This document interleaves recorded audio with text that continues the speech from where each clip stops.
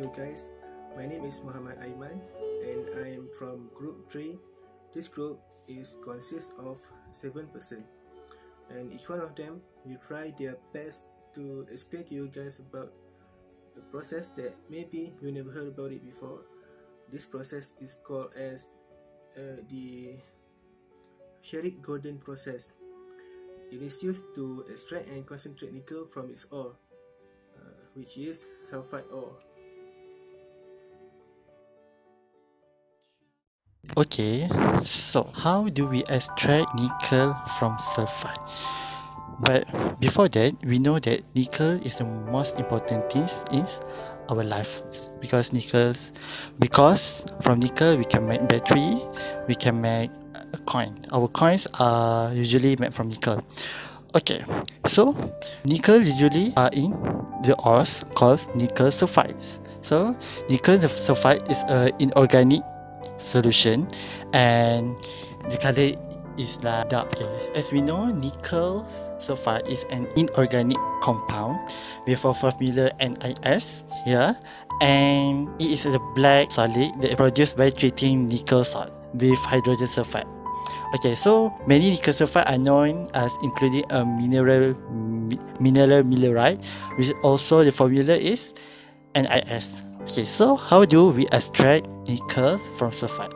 Okay, so the first thing in a sulfide ore, we are going to crush and ground it to liberate minerals from waste product. So we ground it and crush the mineral with the process called flotation, flotation process. Okay, then the waste product, we are going to do a second cleaning. So maybe there's some concentrated product, uh, there's some uh, concentrated ores in the nickel. Okay, so some nickel sulfide are magnetic. Okay, so we are going to use uh, magnetic separation to separate the nickels. Okay, so then um, a Sudbury deposit where copper contain the ore almost equal to the nickel.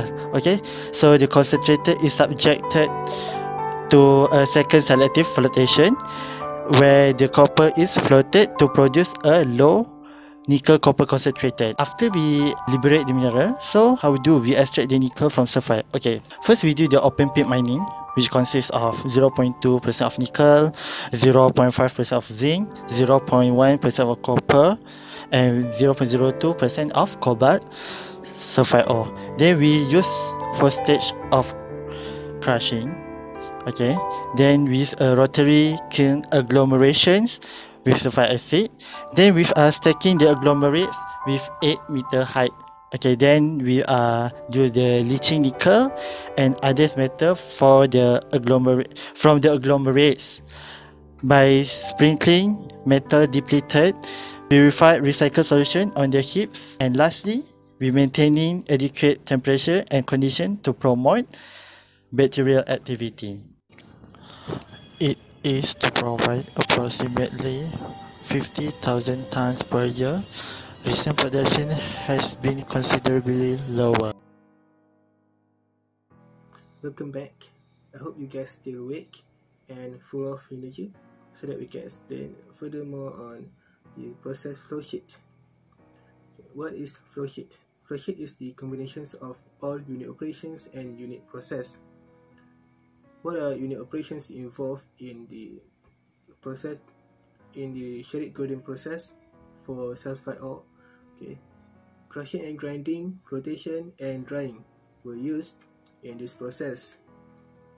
Crushing can be done in combinations of several stages uh, such as when the feed which is sulfide ore will be crushed from primary crushing and then the secondary crushing and can be for the tertiary crushing because it is actually depends on the desired particle size that we want.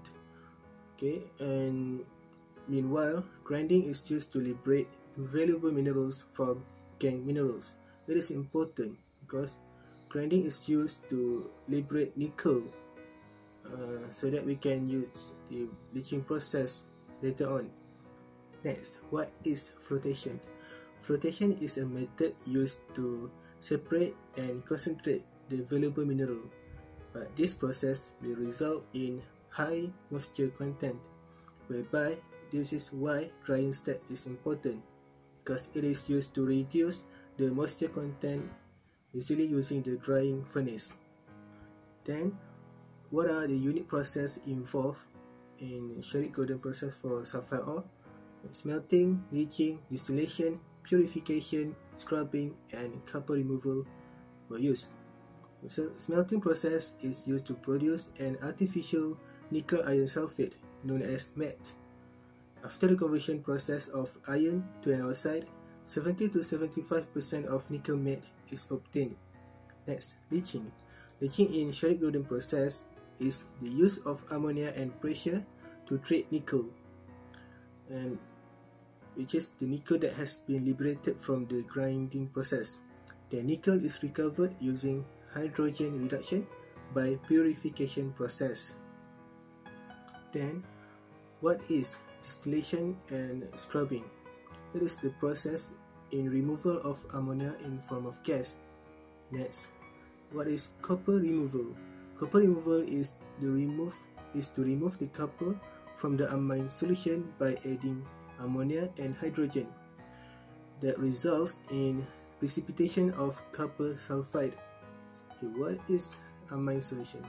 Amine solution is consists of nickel, copper, and cobalt, and with certain amount of unbound ammonia.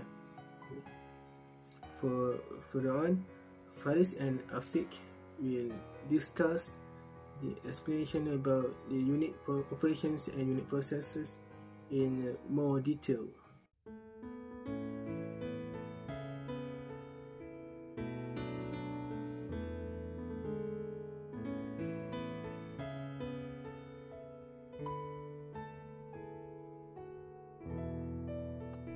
Assalamualaikum to everyone. My name is Muhammad Fiari bin Arifin. I am Mineral Resources Engineering student and from University Science of Malaysia. And today I'm going to talk about the unit process of the Sherritt Gordon process. So there is actually 10 parts of the unit process of the Sherritt Gordon process. I'm going to talk about part 1 to 5 where the rest is going to be explained with my friend which is Faris. So the first point is the sulfide ore will crushed and grounded to the desired particle size. Later, the liberated ore then floated with chemical reagents, xanthate and further to a concentrate of 8 to 12% nickel, which later filtered to about 6% moisture. Then, the smelters would produce a nickel iron sulfide metal, which contained 25 to 45% nickel. Later, the iron in metal were converted to an oxide, leaving a metal then, the nickel metal then crushed and ground to liberate the nickel minerals. So, rest of it, I'm gonna leave you with Faris. Hi guys, I'm Faris. So I will continue explaining about the process that will happen next. So the min, uh, nickel minerals will pump into the autoclaves where the concentrate is leached under pressure with ammonia. And then in this stage, the leach solution will containing the nickel, copper and cobalt solution as the amine X complexes. So the copper solution will be removed by adding ammonia and hydrogen to ensure precipitation. And then the cobalt nickel cobalt solution will be purified by two process which is hydrolysis process and oxidation process.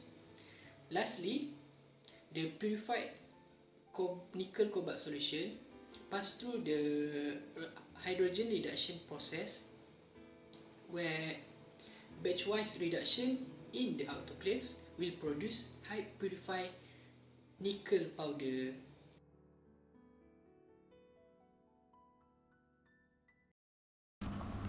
This is a reaction equation for nickel sulfide. This process to remove sulfur from nickel and cobalt by reactor with a sulfuric acid and pressure air to get an NiSO4 and COSO4.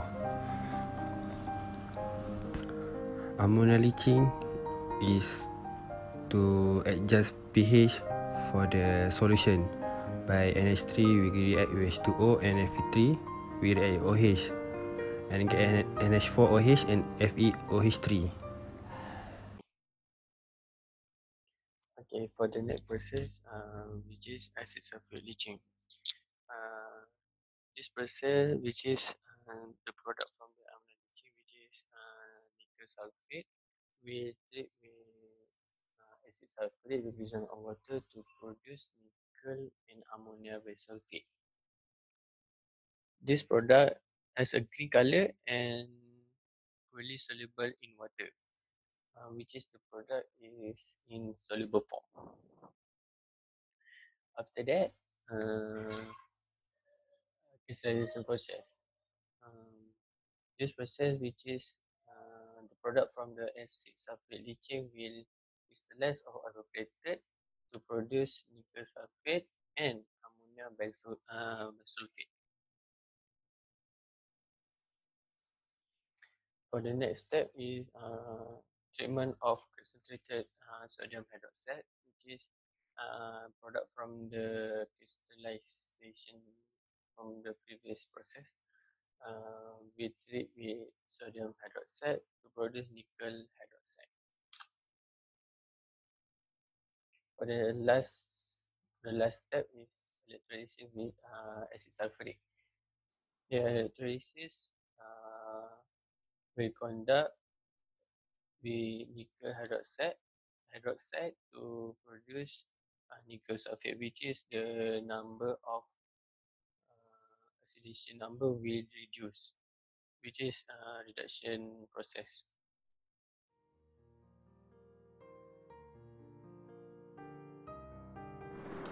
Hi, my name is Muhammad Anwar.